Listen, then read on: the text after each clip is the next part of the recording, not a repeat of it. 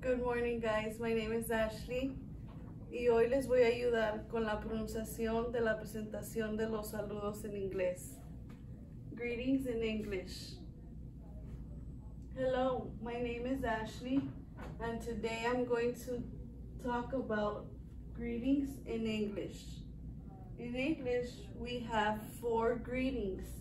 Hello, good morning, good afternoon, and good evening. Hello. Hello is an informal greeting. We use hello at any time of the day. Good morning. Good morning is a formal greeting. We use good morning from 4 morning until 12 or midday.